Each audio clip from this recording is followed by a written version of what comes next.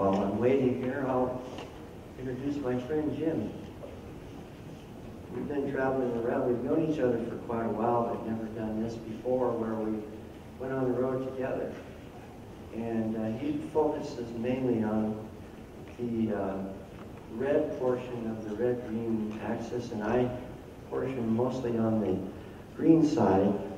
So between both of us, we cover quite a few of the bases. So that's what he's going to talk about today, is the overlap between the progressive leftists and that ideology, which I talked about, undermining the sovereignty, and also how that blends in with what we've been seeing a lot lately is the controversy over immigration. So that's what he's going to be talking about today, some of the numbers and facts and figures. Somebody up there killed the center lights, maybe? You can keep the spotlight on me. I like the spotlight. That thing does it. Uh, holy cow.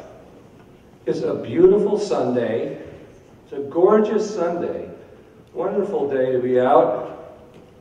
What on earth are you all doing here? Oh my gosh. I think South Dakotans have a uh, masochistic streak. Come in here and hear all this horrible information about what's going on in our country. You all doing well? You all feeling good? You'll get over it. Um, so, the red-green axis, refugees, immigration, I'm still waiting for that spotlight. I want everybody to see this. Gorgeous face. Um, Red-green axis, refugees, immigration, and agenda to erase America. And I called it that because that's exactly what it is. I don't like to mince words. This is the green. Of course, green is a very big uh, color in Islamic tradition. And this is what I call the red. Of course, it's a lot of communists, the uh, Karl Marx, Vladimir Lenin, and this guy nobody's ever heard of, Sergei Nechayev. Any, anybody, let me see if there's hands. Anybody know who Sergey is? Anybody out there? One guy way in the back. You probably saw my, one of my other programs. Nobody knows who, I didn't know who Sergey was. But it's important to understand, it's important to look at this from the 30,000 feet and recognize that everything, not just some of the things, but everything that's going on in our country today is an asymmetrical military strategy of conquest. Everything that we see, all the crazy agendas we see the hard left pushing that have nothing to do with Islam or seemingly communism, uh, transgender bathrooms, uh, open borders, all this stuff has its own adherents and its own advocates and they all seem like, well, they do all seem like they come from one side of the political spectrum, but they don't all always seem like they're working together. And they may or may not be, but that is irrelevant because the fact is the entire program is dedicated to overthrowing our country. It's a military strategy. That's how you have to look at it. We are facing an asymmetrical military strategy of conquest. This is war. They mean it. And now we have the red-green axis up close and personal. Antifa has been discovered by the FBI to be working with ISIS, and that includes Antifa members going to Syria to learn bomb-making techniques. Charming idea. Uh, somebody's back there. Could I get a glass of water? Um, And here's some protesters. Oh, thank you. There it is. I was looking for that morning. Here's some protesters protesting uh, Trump's travel ban. This is just a week or so ago. And these are the Refuse Fascism folks. Well, if you go to the refusefascism.org website, you find that it's actually uh, the Revolutionary Communist Party. Uh, yeah, okay. Um, they're all hardcore leftists. That's the point. Take the left, dismiss every single thing they say.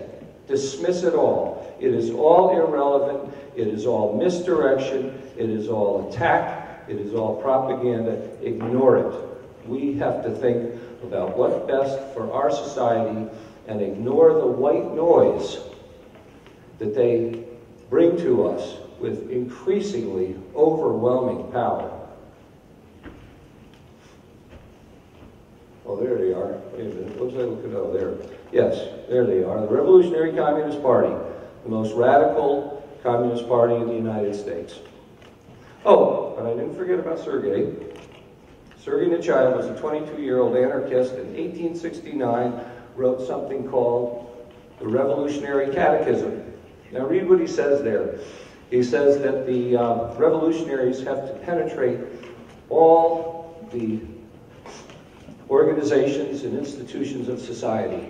They have to make pretend they're one of us and get totally inside so they can corrupt it from within. And then, once they're there, they ceaselessly intensify the evils and miseries of people until at last they're driven to a, a revolt. Doesn't that sound like what's going on today? We're constantly getting poked in the eye with just outrage after outrage. Today, over 20 people were killed at a Baptist church near San Antonio, Texas. Just last week, there were eight people killed by a jihadi who ran them over in New York. A few weeks ago, there were 50 or so people killed in Las Vegas and hundreds injured. These things are accelerating. They are not lone wolves. These things are part of a coordinated effort to bring us to the point where we can't take it anymore. This is a standard communist tactic. You are brought to the point where you know one of two things. You either throw up your hands and say, I give up, I quit, I'm not going to fight anymore, I'm done. Do whatever you're going to do. You want power, take it. Or we revolt and we fight. In either case, as far as they're concerned, it's a win. If we give up, they've got it. If we fight, then they can turn around and call us the haters, the domestic terrorists, the narrative that they've been trying to build ever since Obama took office that actually came out in a uh, Department of Homeland Security report where people like you and I are considered potential domestic terrorists. I mean, it even went so far as to identify people that had Ron Paul stickers as potential domestic terrorists. Can you imagine that? But there are a group of people out there that ceaselessly promote that agenda, that protest on utterly false premises. The Ferguson riots were premised to a completely false premise. The riots in uh, Florida over Trayvon Martin, completely false premise. The riots over Freddie Gray in Baltimore, near where I live, completely false premise. They're just contrived for people to go crazy. And there's a group that specifically, deliberately agitates for those kinds of things. Not because there's any basis in reality for it, but because they're pushing us and pushing us and pushing us based on Sergei Nechayev's revolutionary catechism, which unlike us, most of them, the professional revolutionaries, are very familiar with. Sergei Nechayev has a order of execution. The first people that are to die once the revolution takes over are people like you and me, who are opposed to their agenda. The second group to die now is those who, through a series of monstrous acts, bring us to the point of revolt. So here I'm talking about what happened in Texas, what happened in Las Vegas, what happened in New York, what happens every day with these clowns who riot in the streets over nothing and break buildings and burn things down. Those people are on the execution list, I hate to tell you, or I hate to tell them. Uh, personally, I don't mind it at all. Um, Sergei's Revolutionary Catechism has been used by every single communist revolution that ever came since. It was first formalized in uh, Felix Dzerzhinsky's Red Terror in 1917 after the Soviets took over, where they set out an order of execution and began eliminating entire classes of, of uh, the people in the country. And it's happened everywhere, every place since. They mean it. Now, this is what Khalid Sheikh Mohammed says. Look what he says. Jihadi-minded brothers would immigrate in the United States and wrap themselves in Americans' rights and laws. Doesn't that sound just like what Nechayev tells all his revolutionaries to do? And then, brothers relentlessly continue the attacks until the American people become so tired, frightened, and weary that they just give up. They want it to end. Straight out of Nechayev. Most of the Muslim Brotherhood top leaders, most of the top leaders in Iran went to school at Moscow University. I bet you didn't know that. They learned these communist tactics. They learned these revolutionary tactics. And if you look, if Phil and I had more time, or if Phil had more time, we would discuss and perhaps juxtapose side by side the tactics that the uh, Islamists find justified in taking over and the communists. They're identical. All the tactics are identical. It's amazing. But there's a good reason for it. They work very well together because they're both totalitarian minded. They both want to wrest control from this country, which is the jewel in the crown. So, these are current ISIS investigations. We know that they're in the United States. We've got 79 convictions so far. It's just a snapshot up to the end of, I think, October, September, there, September. Um, of those, 300, at least 300 refugees have been implicated. You know, all the refugee uh, contractors in the refugee industry claim that they were used to say that no refugee has ever been involved in terrorism. They can't say that anymore because after Trump was elected, they opened up the records and General Sessions was able to find this 300 refugees involved, of those being investigated by the FBI. Now they say, well, no refugees ever killed anybody. That wasn't for lack of trying. We just saw three or four incidents last year where they went nuts with cars and knives. And they fortunately got killed before they could kill anyone. But they tried like heck and they injured a lot of people badly. So this is the left's idea, and I alluded to it earlier. The issue is never the issue. The issue is always the revolution. In other words, the issue doesn't matter. They don't care about gay rights. They don't care about immigrant rights. They don't care about refugee rights. They don't care about anything unless and except as they can use it as a vehicle to insinuate themselves into positions of power. That's what they did with the welfare program. That's what FDR did with the New Deal in the 30s. That's what they have done with every social justice issue ever since. They carve out a victim group, talk about how they're being oppressed and how they face injustice and aren't we mean American xenophobe, homophobe, Islamophobe, name your phobe people, preventing them from getting their due. And how could we possibly do that? How could we oppose that? They wrap themselves in the mantle of compassion and seize the moral higher ground so that we are playing on their rhetorical playing field. It's all tactics, right? It's all tactics. And along with it, they build the narrative that anyone opposed to them is a hater. And you heard some references earlier about the haters in, uh, where was it in South Dakota, the woman who spoke earlier. Yeah, Rapid City. And we've also faced that here in Sioux Falls. We had one program shut down by an Islamic uh, woman who was a former CAIR attorney who threatened the venue. They tried to do it to us to another, another venue in Illinois, and the people told them to buzz off. but it wasn't before they called the place where we were holding it, the organizer, and even the organizer's employer. These are things that they're really not allowed to do. They're interfering in private contractual arrangements. They're not allowed to do that, but they feel entitled and empowered, so they are doing it. And what they're trying to do is shut us down. Why?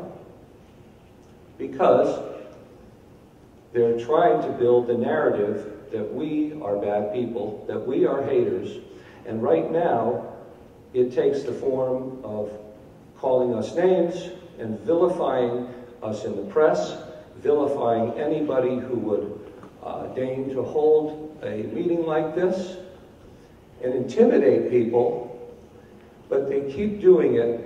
They keep doing it, building their cases, building their precedents to hopefully eventually get that written into law that what we are doing here constitutes illegal hate speech, in which case we will be legally pre prevented from speaking under threat of criminal uh, prosecution. That's what they're going for. And like everything else I've said so far, this has a long history, a long pedigree. And it started with Lenin, who said, we can and must write in language which shows hate, revulsion, and scorn toward those who disagree with us. Note he doesn't say haters, bigots, uh, xenophobes, or racists. He says those who disagree with us. Same thing in the 1940s. They sent out uh, memos to the Communist Party of the world saying, call us uh, anti-Semites, call us haters, call us Nazis. That's another big one still going on now, right? All the same people saying all the same things over and over and over again to try to discredit us in the public mind and at the same time shame America. They're trying to shame America so that their vision of America can be the one that comes to the fore. It's all tactics, but it's very, very evil tactics. Because unlike us, who are very open-minded, we're the most generous people in the world, we are very open-minded, we are, uh, we allow people to have voice, whatever kind of opinion they want. You, you, you can think whatever you want, I don't mind, as long as you respect my right. But they don't feel the same way. They don't feel the same way at all. And the whole reason is because their goal is to take this country and obtain what they have always wanted, power and wealth. They're not trying to save the oppressed from the earth. They're not trying to liberate anybody. They're trying to seize our wealth, seize our power. And the only difference between that and the capitalists that built the railroads across the Great Plains, or the people that build our banking system, or anything else, is that they don't contribute anything. They take. They do not build. They do not produce. They do not edify. They don't build anything. They destroy. And that's all they can do they are what I call entrepreneurial parasites. They're here to take, take, take, take, take. And the only problem with their strategy is that if they're actually successful in taking us down, the rest of the world is going with us. Because our nation, which produces about 25% of the world's goods, and is 25% of the world's market, will take down the entire world with it. We will collapse. The world will collapse. So, it's crazy idea after all, but it's very diabolical and it's very dangerous, and we all have to recognize it for what it is. And you know, I hate talking about this. Half the time I'm like, do you really need this? Do you really believe it? You know, this sounds so crazy. It sounds like a conspiracy theory. But you know, I've been studying this for 30 years and they keep on proving me right in every single thing they do and everything, the single thing they say. And the only difference between you and me is I've done the research to prove that this is what they do and this is what they say. It's the only thing that separates us, and it may not even separate many of us. Some of you may have done research your own. You know all this already. Some of you may have intuited it. I intuited a lot of it before I found out any of it. It's really happening. And I don't even like to stand up here and tell you that, but it is. And we have to be prepared. So, after all that, I spent a half hour talking about other stuff. Let's talk about refugee resettlement, which is what I came here to talk about. And uh, the refugee program, refugee resettlement program, is a little known but major part of this agenda. The Refugee Act of 1980 changed the entire program from one of voluntary uh, refugee resettlement where a private person would sponsor a refugee who would promise to come here, work, learn English, and support him or herself, to one where people come here by the tens of thousands and we set them up with every welfare benefit that you can think of, many of which we are not entitled to, and then grant upon grant upon grant so they can become established in business, so that they can get a job, and so that they can uh, establish a place to live. All of that for them exclusively. And it's an extremely expensive program. It was founded, or the idea, the Refugee Act of 1980 was written by Teddy Kennedy. Teddy Kennedy also wrote the 1965 Immigration and Naturalization Act.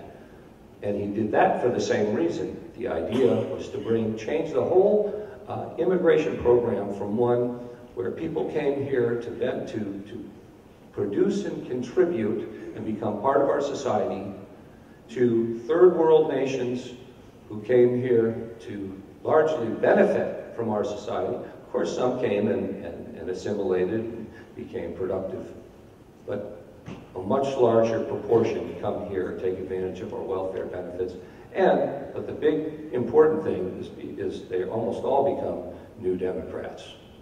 And that's what Kennedy was looking for in 1965, and again in 1980 when he expanded the base of captive, potential captive future voters. So the UN High Commissioner for Refugees selects the refugees out of UN camps, almost all of them, overseas refugee processors uh, select from that group and refers them to the State Department, which selects from that group and turns them to nine U.S. contractors called voluntary agencies or VOLAGs and 320 affiliates or subcontractors, which in South Dakota is Lutheran Social Services. And the affiliates do most of the work. The nine contractors are responsible for getting money from the State Department, to a lesser extent, Health and Human Services, but the affiliates do most of the work. We resettle more than all other resettlement nations combined. We are the most generous nation in the world. As far as I'm concerned, we're way too generous. And we also, oh, okay, well, here's a snapshot of um, primary refugee resettlement in South Dakota since 19, since fiscal year 2002. Total of 6,062 people from these different countries, 35 countries. That's a snapshot. Now you'll notice most of them are in Sioux Falls, some in Huron, the rest in other towns. We also have a number of unaccompanied alien children. That's the uh, illegal alien minors and I only have from 202 since 2014 for those. But if you'll notice, South Dakota refugee resettlement, primary resettlement, has gone down since 2012, and that's because Lutheran Social Services, to a certain extent anyway, decided to take your concerns into account and reduce the number of uh, refugees they're bringing in annually. At least that's what they claim. And it may be that they're not just getting the numbers, but they claim that they're doing this because they are listening to all South Dakotans rather than just their fellow advocates. That would be a nice change.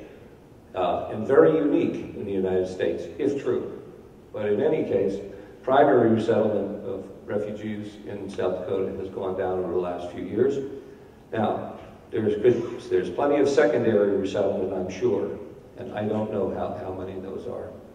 And there are also numerous other groups which are not counted in this database, which is the only one that you can reliably check uh, any day to find out about refugees. And I will tell you about those in a second. This is what refugees are promised. And, you know, I want to be a refugee. Look at this. You get affordable housing, you get furniture, you know, you don't just show up and then go out and buy furniture and stuff like that. You show up, your house is furnished, there's food in the refrigerator, you're given cash in your pocket, you're giving somebody a phone number for somebody to call when you need a ride somewhere, you're given rides to uh, work, to home, to uh, job interviews, babysitting. Why do anything? You know, you get all these foolish Americans that just carry you around everywhere and buy stuff for you. It's great. Doesn't happen for Americans. If there's a two-year, in some cities, there's months-long, years-long waits for public housing. If you're a refugee, you get right in. If you're a crippled veteran, you wait. How do you like that? In uh, Port, Port, uh, Portland, Maine, the governor of Maine told me that um, autistic men who spent their lives with their families are now out in the street because, you know, they, the families took care of them when their families died. They needed a place to, to go, find some uh, public housing to live in. Public housing is all taken by refugees, so the homeless population in Portland, Maine is swelling with autistic men. Refugees, despite all the benefits they get, you use welfare at rates vastly higher than Americans and even all other immigrant groups. And you can see that goes all the way back to 1980 when they first started coming here. And this is the 2015 rate for people who have been here from 2015 all the way back to 1980 and compare that with US born rates. So, I started with that because I wanted to show you this. We get refugees, and this is the refugee program over here. And if you note, uh, Trump reduced it, the cap to 45,000 people in fiscal year 2018. Uh, that was actually a big win because the whole refugee industry battled for 70,000, but they didn't get it. But what this doesn't show is that this isn't the refugee program. This is the refugee program. Oh, oh no. Oh no, it's not working. Uh-oh. Sorry, folks. Technology wrecked me. They're under hiding under this yellow screen, which is supposed to disappear, but it's not working, uh, are special immigrant visas, about 10 to 15,000 a year. Uh, Cuban Haitian entrance uh, in 2016 was 73,000. Uh, asylum seekers, about 25,000 a year. Trafficking victims, another about 1,000. And unaccompanied alien children, anywhere from 20 to 50,000 a year. In 2016, the total was 275,000 people. Those are the people who get to benefit from the refugee program. And so, this is the most powerful slide I have, and figures. I'd come to Aberdeen, South Dakota, and it wouldn't work. Your fault. So, um, and then over here on the right-hand side, I did a calculation based on uh, based on this, uh, just for these years, 2009 through 2018, and if you looked, the cost for the whole cohort of all these groups uh, from 2000 in 2018 would be 17, uh, uh, sorry, 14 billion dollars. So if you go back to 1980, just do the math. we're talking somewhere between 50 and 100 billion dollars a year to pay for the welfare for these people. And I have not done that calculation yet, but I intend to. So, and then we have other overlooked groups like asylum families, 10 to 15,000 a year. Families for the unaccompanied alien children, because actually they weren't unaccompanied, you know, they came over with a lot of families, maybe not their own. Temporary protected status, about 325,000 people, although we just found out that the State Department has announced that 60,000 of them are eligible to go home and they're going to be sent home. And most of the rest of the others are going to be decided about around the beginning of next year. Now, this is really significant because it, what, it, what it means is that the Trump administration is the first administration to ever actually enforce the temporary protected status law. It started in 1990 to accommodate the approximately, well, a couple hundred thousand of the approximately one million Salvadorans, one fifth of their total population, that came to the United States during the Salvadoran Civil War in the 1980s. And so they created in 1990, and so if you're here because of war, because of uh, some natural disaster like a hurricane or earthquake, you could stay here until the coast was cleared and then you go home. So you got an 18 month uh, basically temporary legal residence here. But then after 18 months, you could renew. And then you could renew again, and then again, and then again. So of that 325,000, 200,000 are still Salvadorans. And the other ones are people from Nicaragua and uh, uh, Honduras who came here in the late 90s following uh, uh, an earthquake, still here. People from Syria since 2012, still here. Many other countries. They just keep on renewing, renewing, renewing. Well, the Trump administration, for the first time, said, okay, guess what? We're not renewing anymore. you're, you're safe to go home. You know, the, the, the earthquake in Nicaragua ended around 1999. They've since rebuilt, at least I hope. You're free to go home there. Same thing with Haiti. And so he's sending them back. That's great news. It's great news. No president up till now has actually enforced the law. Just turned it into a endless, endless, basically a, a, a long-term amnesty program. Many of these people are now married to Americans and have American kids still going home.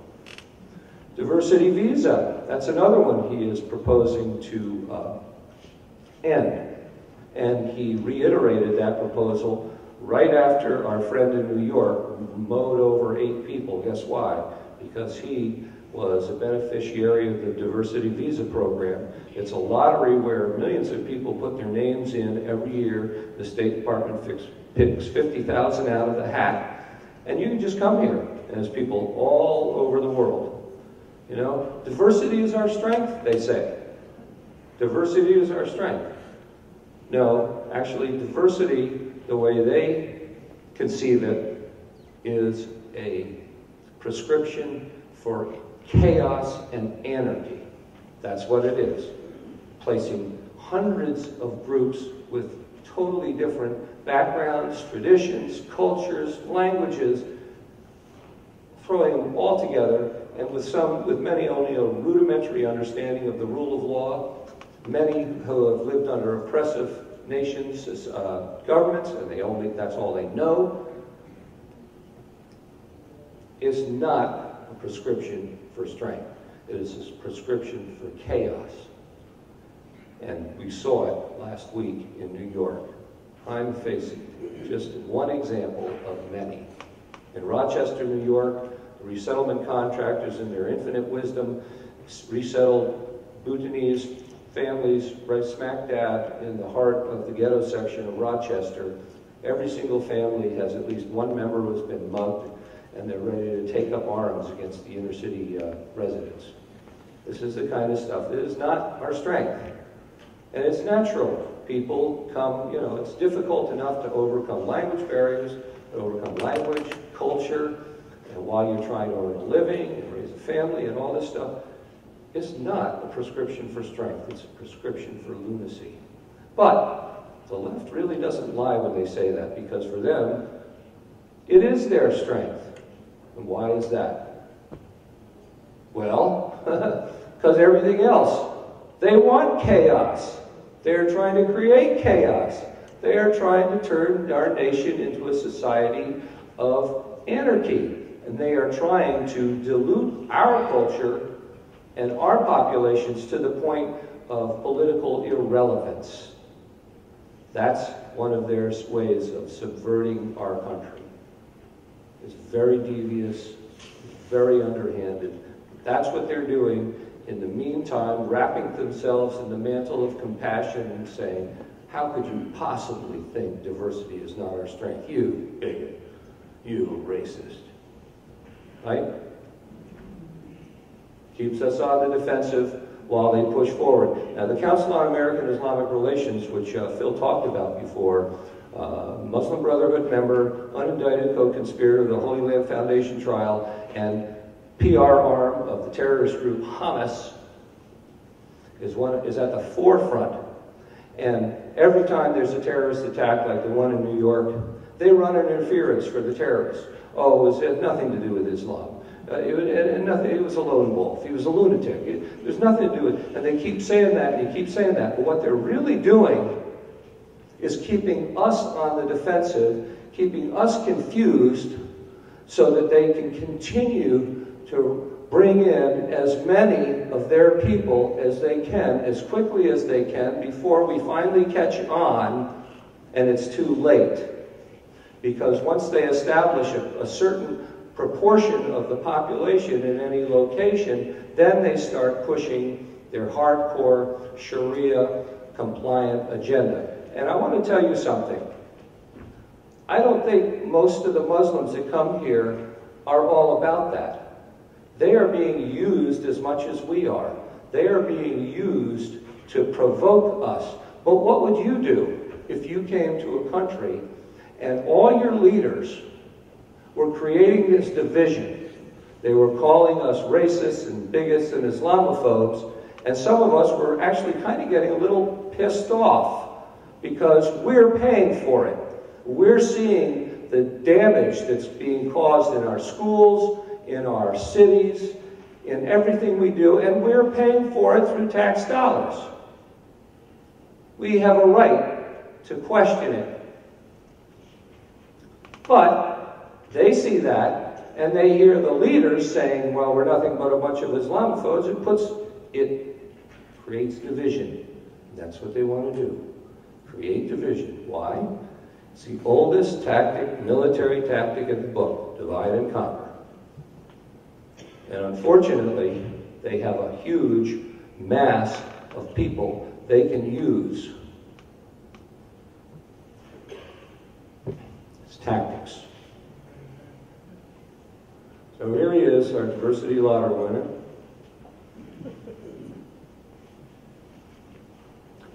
Resettlement budget has been reduced 28%. If you could have seen that panel before, you would have seen it's justified by the numbers going down because the Trump administration is enforcing the law. They're enforcing border laws, they're, they're tightening up the asylum program. All of the refugee programs are fraught with vast fraud.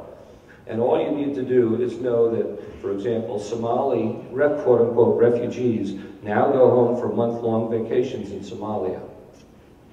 You, if you have a credible fear of going home based on uh, uh, being uh, persecuted for your beliefs, your religion, your uh, sex, or your race, or whatever, which is the definition of refugee, then you're not going to want to be going home for one month-long vacations to visit your relatives. But that's what they do. They're not refugees, most of them.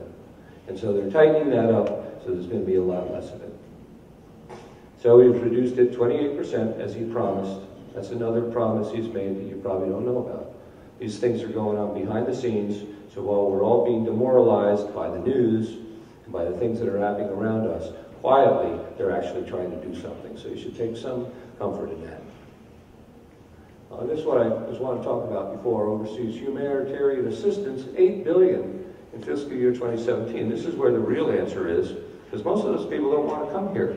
They want to go back home. So what should our job be? Our job should be to make it comfortable for them to be in the refugee camps where they are, safe, and then work, get, get our State Department to do its job for a change, and actually solve an international issue. You know, we have a lot of power as the United States. We don't use it. We just say, oh, okay, I'll just bring them all over here. But we are the most generous in overseas humanitarian assistance, and that includes to the Syrian crisis, 6.5 billion since 2012, vastly more than anybody else, vastly. The next highest is Britain, and then the next highest you have to add a number of the Gulf states to even come close to Britain. So, but this is the answer. It's 12 times more expensive to resell a refugee to the United States than it is to help one over there. If you can help 12 people over there for every one here, and they don't want to come over here in the first place, why on earth are we bringing them here? Because the resettlement community get, makes big money to do that. That's why. That's why. There's a massive political industry infrastructure that promotes refugee resettlement. And here are the VOLAGs. This is what they have made just in 2016. Bishops, Catholic bishops made 104 million in 2016. LIRS, that's the parent organization for LSS, made 60 million in 2016. Um, that's what it looks like. The Illegal Alien Youth Program is even bigger. Baptist Child and Family Services, Health and Human Services Program, 200 million in 2016. It's close to 300 million in 2014. A lot of money. And the leaders get between two, 200 and 500,000 a year for basically administering a, a, a, a grant, filling out a form, justifying the numbers, and sending it in. I want that job. I can do it in my sleep. They can too, and they probably do. Ford Foundation, all the foundations here support the Open Borders agenda. All people by radical leftists, as are these VOLAGs, even though some of them are nominally religious, they are all staffed by radical leftists, and they cannot proselytize. So if any of them tell you that they're here to do the Great Commission, and you're all a bunch of uh, bigots or, or chintzy or, uh, you know, uh, Islamophobes because you're questioning their program, their real reason is to make money. They, they cannot proselytize. They'd lose their uh, contracts. And it's my favorite one. I didn't get a chance to change this to South Dakota, even though I have the data. But South Dakota is about $12.70 an hour for about $27,000 a year for doing nothing. If you're unemployed, that's what you can get if you take all the benefits that are uh, available to you. So, they say, well, we hire a refugee because we can't get people to work for less than between 12 and $15 an hour, and we only want to pay 8 to 10. So the refugees, you know, it's more money than they've ever seen. So we hire a refugee at 725 an hour, that's 15,000 a year. But a family with two kids and one parent can get 17,000 in welfare benefits. So they're actually going to make about 30 grand a year. So how are we getting lower cost labor? How are we getting cheaper labor? labor? We're not. All we're doing is we're subsidizing the labor, the wages that business pays. That's what we're really doing. And it's under the radar. We don't see it because it's welfare, right? It's just in the welfare program. But it's exactly what we're doing. And the Chamber of Commerce, National Association of Manufacturers, all these groups trip over themselves to bring in refugees and advocate that, and that's why so many Republicans favor it because they're responding to their major donors as opposed to responding to the people that they were elected to represent. And that's the problem. But what are we doing? We are just subsidizing those donors. That's what we're doing. What's the real answer? Is the real answer to flood our nation with uh, populations from all over the world? No. The real answer is to reform welfare. And we tried it in 1996, but when Obama was elected, he, he used his phone and his pen to change all the regulations and put them back where they were before. Illegally, but that never stopped him before or since. Um, but that's what we need to do. We need to reform welfare. We need to make welfare only available to the truly needy, not to anybody that just comes along. And it has to be temporary. We have to make it as something. The, the left went, went to the mats to turn welfare into uh, what they wanted was a standard national income. And they tried to get that done in, 19, in the late 60s through the Great Society, but they couldn't establish it. So instead, they went through the back door, increasing all the different welfare benefits and adding new ones here and there and here and there until it came up to essentially the same thing through welfare benefits. If you live in Chicago, if you're a young woman in Chicago and you have two kids and you're earning 25 an hour, you can earn $60,000 equivalent in welfare benefits. So your, your actual take home, if you count your benefits as cash, or you know, cash equivalent, equivalent to about $80,000 How, will she ever go any further than 825 an hour? Will she ever bring herself out of poverty? No, she'll live like a queen in poverty. We need to fix that. That's what we need to fix. You don't need to bring in hordes of people from all over the world because at the same time that we're uh, uh, subsidizing low wage for industry, we are increasing our long-term unemployed Americans and entrenching an ever higher level of unemployment. These are the facts. And, you know, we're called bigots and racists for bringing these facts to you. I want to slap the next person that tries to call me that. Nobody has tried to call me that to my face yet. They better not. I'm looking forward to the time they do. Uh, health issues, tuberculosis, HIV, language barriers, translations costs, English language learner costs. Uh, the Muslims are being told to integrate, not assimilate. That's critical. Integrate, not assimilate. And you know, the name of my book is um, the agenda to erase America. It was very clever. Lutheran Social Services of Michigan recently came out with a study on the great economic benefits of, uh, of uh, refugees, and basically their entire report talked about how much money the federal government was going to be bringing in to the area. You know, they just don't get the fact that the federal government didn't give them that money. The taxpayers gave them that money. So when taxpayer money comes into Michigan, it means it's been taken out from somewhere else. So it's a zero-sum game. They don't get that. They only talk about, oh, it's so wonderful for Michigan, and everybody else has to pay for it. But they said that, in that, they said that they focus on integration, not assimilation, because there are bad people out here trying to claim that we are trying to erase their culture.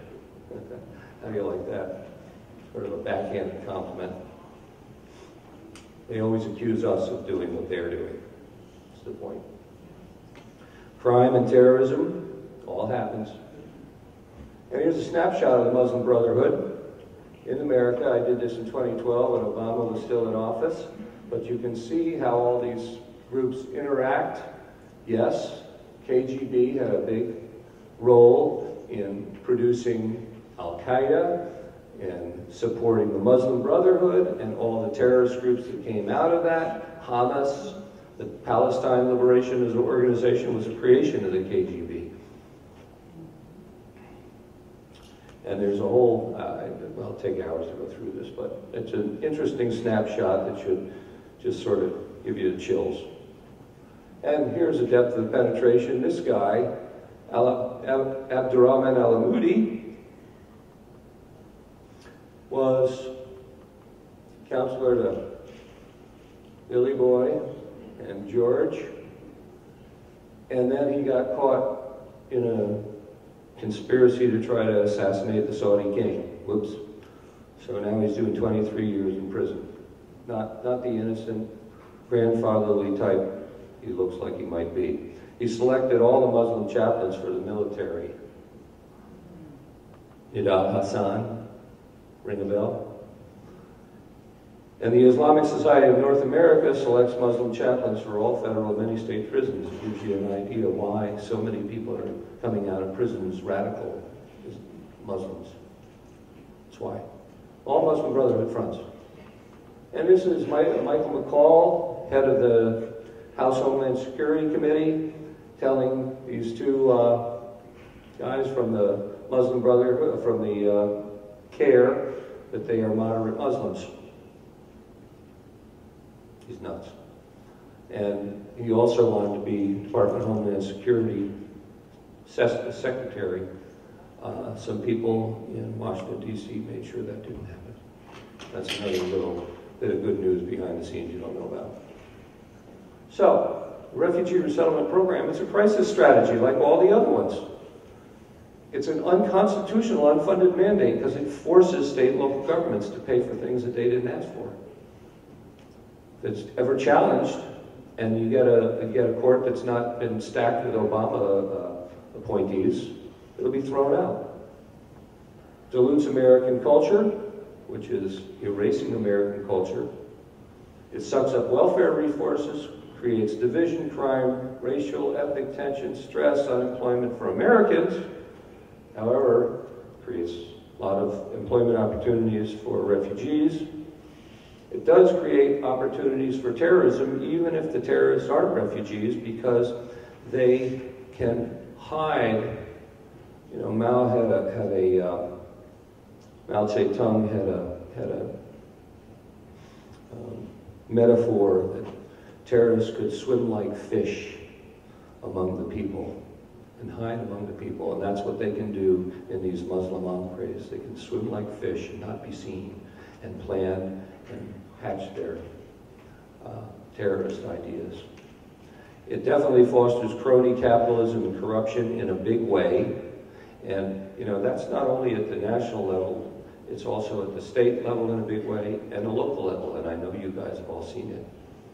Um, we have been sort of asleep at the switch, unfortunately, and in fact, local politics is some of the most corrupt politics there is. Why? Because nobody pays attention to it. You know, if, you, if you have a local election, how many people show up to vote for the mayor and for the city council? A couple hundred maybe? A Thousand? Out of, you know, however big the population is? It's a teeny amount.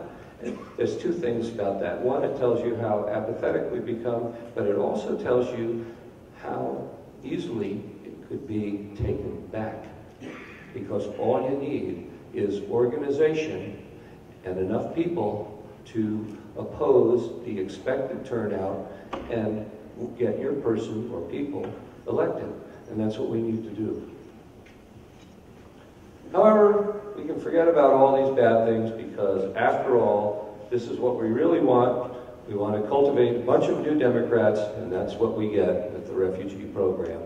In five years, they can apply for citizenship and get the vote. And uh, as we've seen in California and elsewhere, illegal aliens are already voting. And in many cases, uh, there's so much vote fraud. Uh, that's another ag uh, agenda that I've done extensive research on. And uh, it, it, it's something that I'm sorry to say, the left, and for those of you who are Democrats, I, I apologize if I offend you, but the, the party, the top members of the party are very corrupt, and they are, they depend on vote fraud for, I would say, anywhere between 3 to 5% of their vote. And so in close elections, vote fraud will win it. It won it in Minnesota with the election of uh, Al Franken, who was never funny, even when he was a comedian. So what can we do? We can pray. And he's a terrible senator. We can pray. We have to pray. This is the this is zero hour, folks. It's very late. The hour is very late, and we've been behind the eight ball. We really need to step up And we need the supernatural assistance of our God who brought us this great country.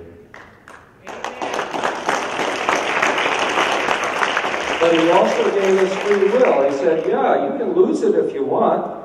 You know, you don't have to pay any attention to me. Go ahead. Do as you want. Do what you think is best. See how it works out for you. We have to pray. We have to recognize our sovereign, our higher power, our God, the man who brought us here, brought this wonderful country to us, and we have to beg for his assistance because we need it now more than ever. We need to elect strong, committed leaders like the gentleman who spoke earlier. They're very rare, you know. People are actually willing to stand up here by our side. They're very rare. That gentleman is an inspiration to me. Restore still says we have to restore our sovereignty. That's what's going to save us. And there are a bunch of specific things we can do that I would like to perhaps talk with you later, not now, because it'll take too much time, and I'm sure I've already taken way too much time. So much time that you're not even going to get to enjoy any of that nice, sunny South Dakota day. it's stuck in you, and that's all afternoon. You must be crazy. All right. So thank you all very much. This is uh, my website, crisisnow.net. Ann Corcoran has Refugee Resettlement Watch blog. She is the undisputed expert on that program. And the Center for Security Policy brings in all kinds of very good stuff with experts who have been around for decades. Thank you all very much.